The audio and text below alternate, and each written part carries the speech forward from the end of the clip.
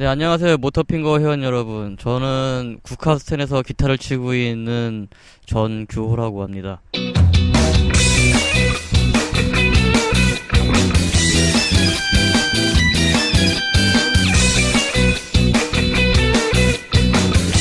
음, 인디 밴드고요. 그리고 이펙터를 많이 쓰는 걸로 유명하죠. 뭐 그거야 찾아보시면은 뭐 아- 아시겠지만 다른 팀들보다 음향을 많이 쓰고 있고 그리고 좀 이렇게 실험 정신을 가지고서 도전하고 있는 팀입니다.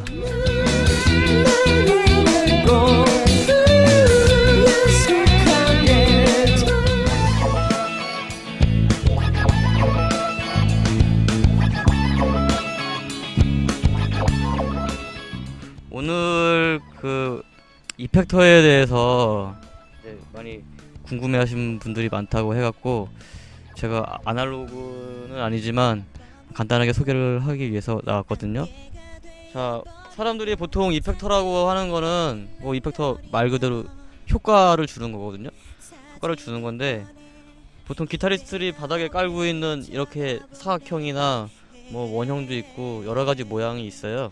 이건 이제 아날로그라고 하는 건데 여기 보면 뭐 이렇게 돌리는 거 볼륨이나 뭐 여러 가지 막 돌리는 것들이 있고 스위치도 있고 불도 달려 있고 그리고 여기 이제 기타를 꽂을 수 있는 잭이 있거든요.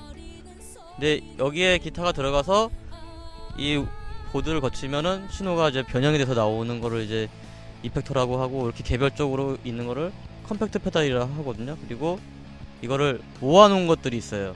하나에 묶어놔서 이런 식으로 이렇게 생긴 멀티 이펙터라는 게 있고 그리고 녹음실에서 사용하는 이렇게 길게 생긴 렉형으로 되어 있는 뭐 이펙터들이 있는데 다 그 활용하는 거는 뭐 똑같은 방식으로 활용하시면 되고 그리고 거기를 거치면 소리가 왜곡된다는 거를 그런 개념으로 가시면은 좋을 것 같아요.